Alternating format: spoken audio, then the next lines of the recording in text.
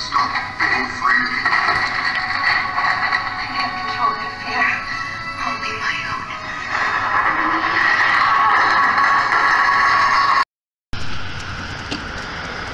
Am I on? You see, the thing is, is that we can only be in control of ourselves. And ironically, the majority of people give up that right nine times out of ten. Really, really stupid. On every lip, there was but one word, and that was conspiracy. What it really represented was the face of monopoly. It immediately became clear that the entire nature of the enterprise was going to change in ways that spelled their doom. And so there was a shock of recognition that they were going to be left behind and that a whole world that had been opened up to them was soon to close. The image that was always used was that of the anaconda, the squeezing python like grips of uh, this economic snake that was just taking individual entrepreneurs and just putting them out of business and reducing them to kind of economic strait where they had no alternative but to really to sell out to sell out to the principals in this conspiracy. It was a conspiracy really. It was one of the first great economic conspiracies in this country.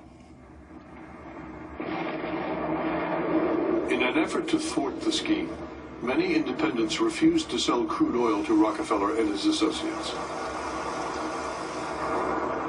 Undaunted, Rockefeller used the threat of the South Improvement Company to intimidate his rival refiners in Cleveland.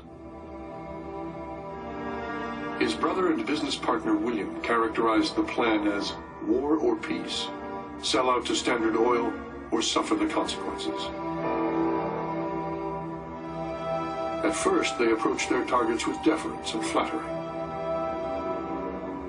Rockefeller himself used his own considerable talent for persuasion, presenting Standard Oil as a brotherhood based on cooperation. He had this missionary faith that he was destined to guide this industry. And when he took over his rivals, he not only wanted their plans, he often wanted the managers. So it was not in his interest to alienate them. He much preferred convincing people sell to him voluntarily rather than trying to squeeze them through paratactics. Although, if necessary, he would resort to very rough methods in order to soften them up, or he used a phrase to give them a good sweating before he negotiated with them. Rockefeller might create a shortage of the railroad tank cars that transported oil. He might go out and buy up all the barrels on the market, so a competitor would have no place to store his oil or ship it. He would even buy up all the available chemicals that were necessary to refine oil. Rockefeller instructed Standard Oil men to communicate in code. The company was nicknamed Club.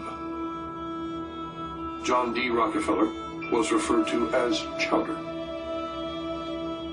Many of Rockefeller's targets had no idea that the local refiners who were slashing prices and acting like competitors were actually part of Rockefeller's growing empire. In just two months, he had taken over 22 of the 26 Cleveland refineries, revealing the single-minded drive that would make him both the wonder and the terror of American business. Nobody knew what he sounded like. Nobody heard him. Um, he walled himself off, and and the people who did know him, the, the people who did find him ruthless, uh, had reason to find him ruthless because you come up against someone who has no self doubts, who has a vision, and who has no qualms about achieving that vision because he doesn't think he's doing wrong. Once he made his mind up, you might as well sell your company because it was going to be part of Standard Oil. Methodically, secretly, John D. Rockefeller was doing more than transforming a single industry. He was changing forever the way America did business. The day of combination is here to stay, he declared. Individualism has gone, never to return.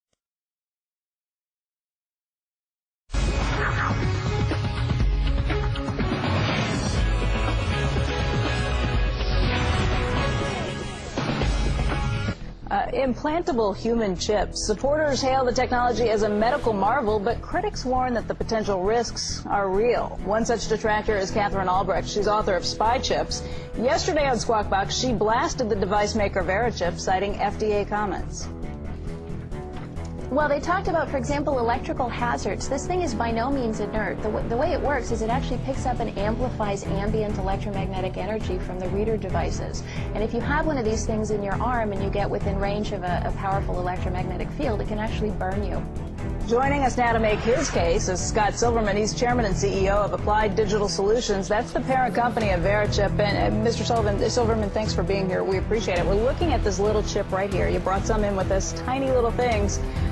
But what we heard yesterday was kind of scary. How do you how do you react to that? Well, Becky, thanks for having us back on the air. We appreciate that very much. And obviously, the comments that were made yesterday is the reason that I'm sitting here today. As Right. you know, Verichip has been approved by the FDA as a Class II medical device in order to identify high-risk patients in an emergency situation. It's elective, it's voluntary, and it is certainly critical to the evolution of information technology in healthcare, which we all know is archaic, the way healthcare is done today in emergency rooms and physicians' offices. So we look to be a small part of that. And we wanted to correct inaccurate statements that were made yesterday, and more importantly, talk about the Verichip What, technology. what's inaccurate and what Well, there were two things that were discussed yesterday on the air. The first was passing through a smart pass on the highway and having a Verichip in your arm and being able to be read by the technology. This is not a location device. This is a passive device that cannot be read in that atmosphere, in the smart pass atmosphere.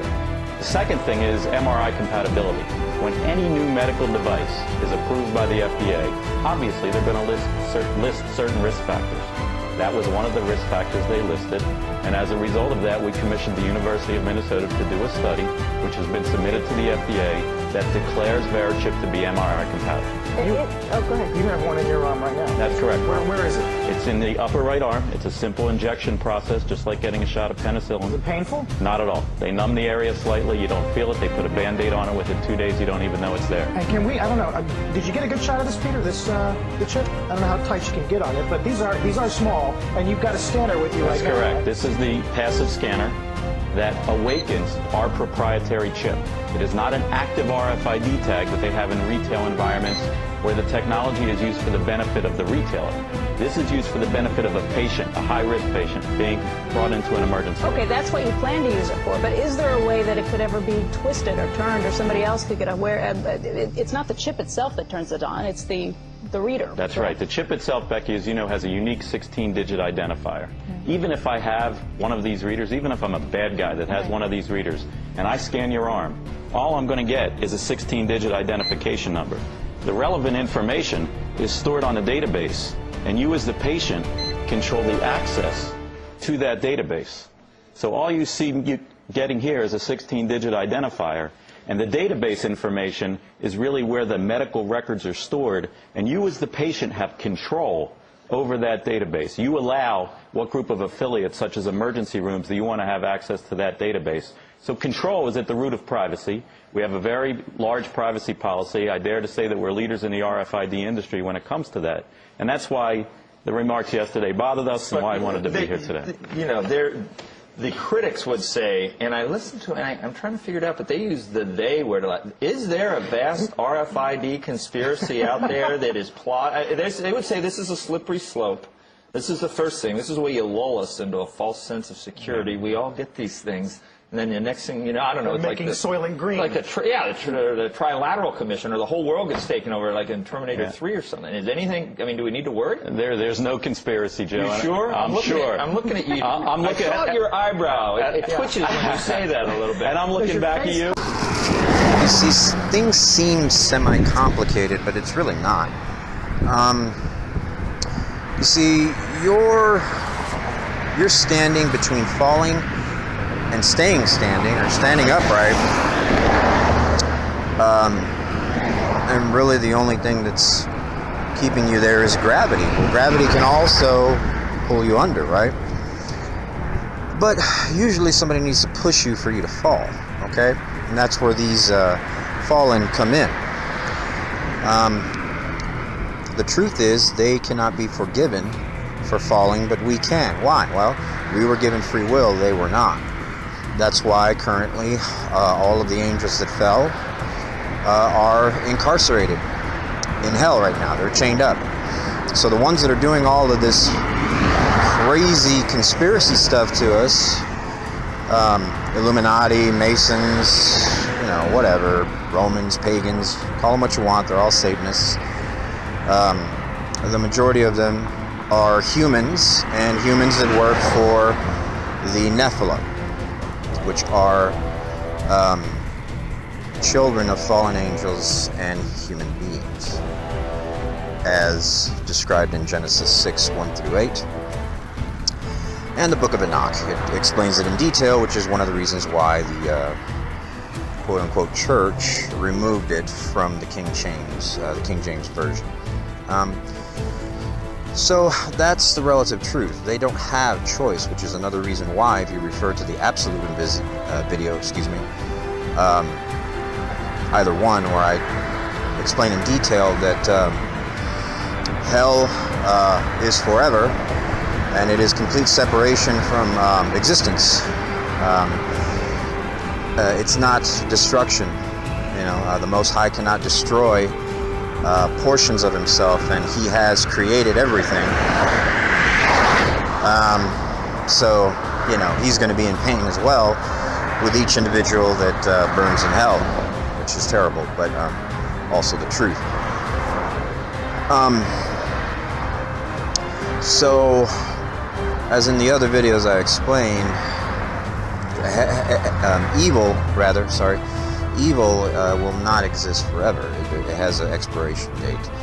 Um, so the whole duality concept, it's, it's trumped. It doesn't make any sense. It's not even real. It's, it's not going to uh, be that way. Just because we cannot see this currently, it's, it's in a linear time frame, uh, does not mean that that's not the way it is. Um, you know, you can delve into your uh, existentialism, um, you know, uh, leaning towards your metaphysics and all that type stuff, but the Bible is extremely clear about all this. Um, it tells us that, you know, the evil's done. It, it's it's got an expiration date forever. So we have to be wary of these things. Like the Bible says, be um, wary and wise as serpents, but um, harmless and guileless as doves, right? Um, what that means is that uh, there's always something that's trying to push us to fall, okay? Uh, we have the ability to choose to fall or not fall. Um, and because of Yeshua the Christ, we have salvation uh, because he proved that humanity can make the right choice and redeemed us and um, got the keys to hell, death, and the grave back for humanity. That's why he's our king and savior. And, you know, he showed us how to do it. He was a human being. So, if, uh, you know, he can do it, we are able to do it because we're human beings. You know, first the Jew, then the Gentile who would follow them. All can be saved, is what the scriptures say.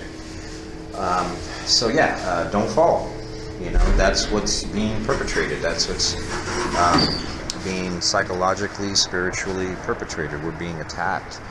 Um, just as Paul said, um, uh, we battle not against flesh and blood, but the powers and principalities of darkness, things unseen. Uh, that's what Paul's talking about, and it really has not um, ended. It's only going to increase, to be honest with you. Um, one of the reasons we are asked to adorn ourselves in idolatry, okay? It's funny because I'm wearing this shirt right now, but it's only because it was laundry day. It's an old t-shirt. But anyway, the point is, um, uh, no matter what, I don't love anything more than the Most High, but there are many people that um, do mistakenly. They don't understand um, because no one's taught them. And that's one of the reasons why, you know, I do these videos and uh, others do videos like this. So the reality is is that um, Egyptians demanded, well, not Egyptians, but the quote unquote Anunnaki, which were just Nephilim. Um, they demanded worship from uh, the slaves and uh, the quote unquote underlings of their time. Um, and uh, it was okay to ask that of them because they did not, they, they appeared before people. Everybody knew that these things were there, so they knew, and they didn't really feel like there was much of a choice. But since um, this war has become a quote unquote secret war, um, and uh, now they are unseen, they still demand the same servitude. How do they do this? They, um, they implement uh, psyops, uh, social engineering, um, to get people to worship anything but the Most High. Football teams, football stars, uh, basketball teams, basketball stars, um, you know, anything in professional sports, uh, movies, uh, comic books. Man, you guys are even worshiping evangelists. You know, I, mean, if I if I had a quarter for every single time somebody would quote Joel Osteen over the Bible, wow, man, I, would be at least fifty dollars richer. Seriously. So it's dangerous.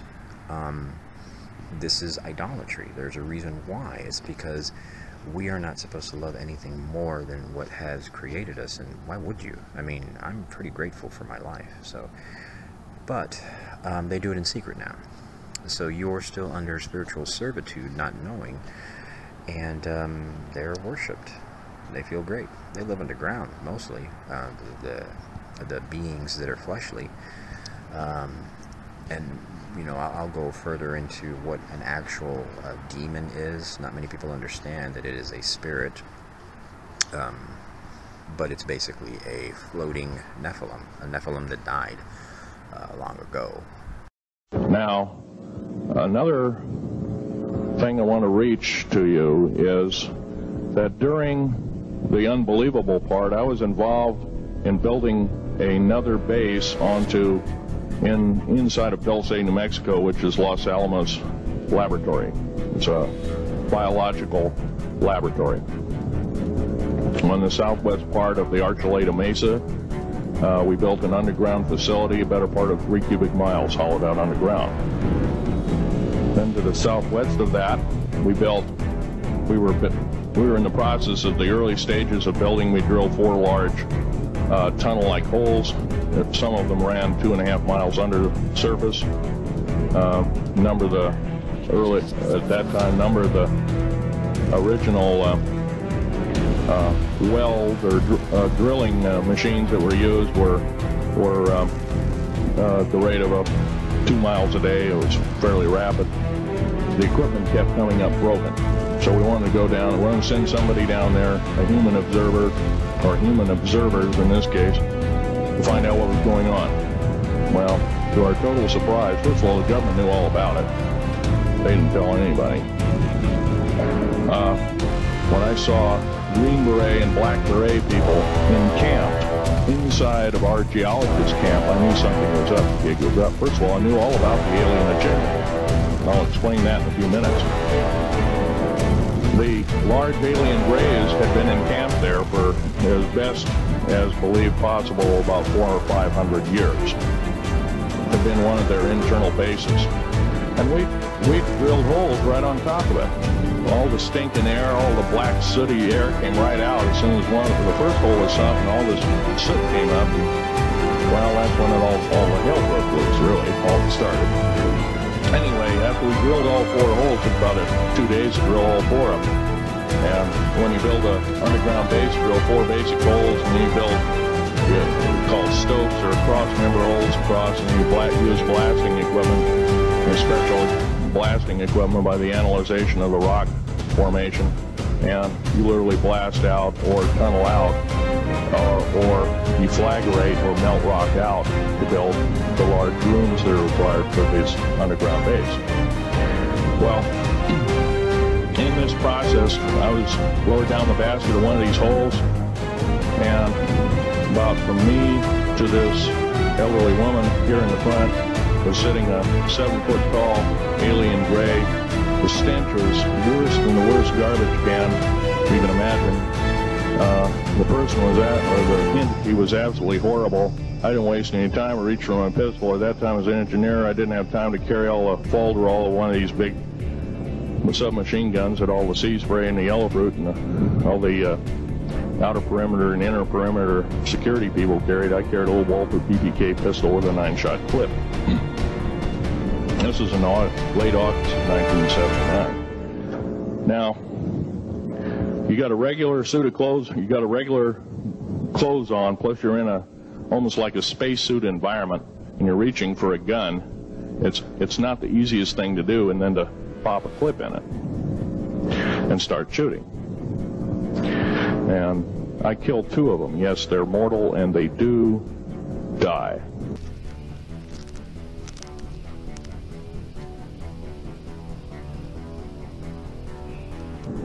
However, in the process, uh, one of them did this. I all I remember is that he just kind of waved his hand in front of his chest, and the next thing I know, this blue beam hit me and just literally opened me up like a fish, and every, uh, burnt burnt my fingers right off of me, and it was some form of electrical force because the kind of like hit being hit by a lightning bolt burned all my toenails off of me uh, completely crispy crittered my left foot.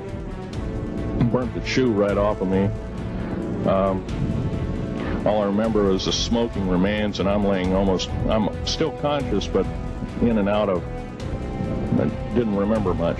And there was a, a Green Beret that was right behind me that risked his life. In fact, he died. But he risked his life. He shoved me back in the bats and hit the button and took me up. And I wouldn't be alive talking to you today It wasn't for him. I'm forever indebted. He lost his life.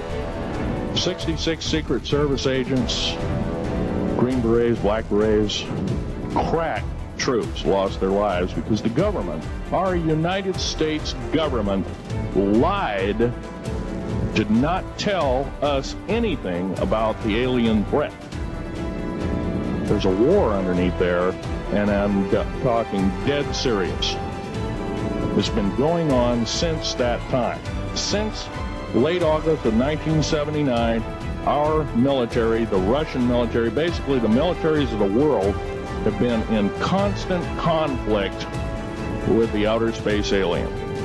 The, the small gray, the large gray, the reptilian. Uh, it doesn't it doesn't have a fleshly form, so it uh, makes clones or it tries to possess people, things like that. I I can I can go into more detail, uh, and I will in another video, but that's not what we're talking about currently. So just um, realize that um, you know, yeah, we sin, we, we we sinned, and we all have fallen short of the glory of the Most High. Fallen. There's that word again, right? But we were given the choice to come back to Him. Okay, and there's no amount of guilt that will um, be able to stop me from trying to do that again. Um, so that's it. You know, you fall.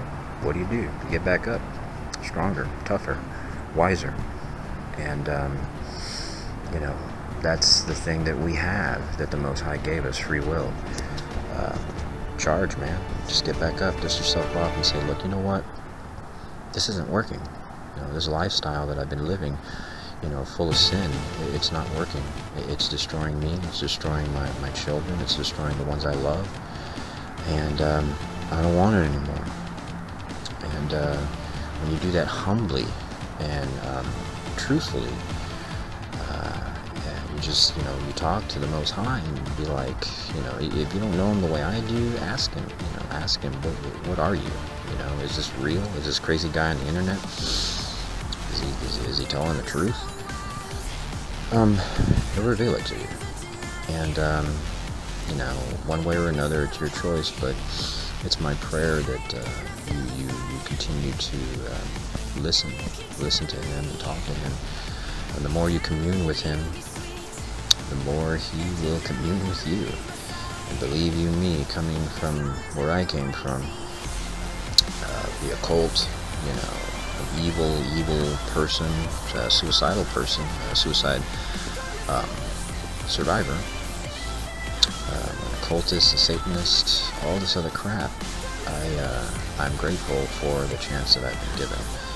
And uh, if you're struggling with sin, or you're struggling with, um, you know, the contention for what's going on, uh, pray. Pray to the Most High. Say, look, I want to know. I truly want to know now. This life isn't working for me, and if you're real, please reveal yourself in your Son Christ's name. And, uh, you know, He will.